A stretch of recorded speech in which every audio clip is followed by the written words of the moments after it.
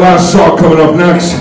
It's a good man, who came from Dubai, having a great show in Rotterdam.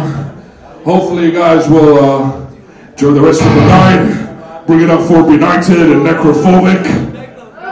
Yeah! Alright, man. Go crazy on this one. This is one of the old tracks back in 2007. This one is called Demolition!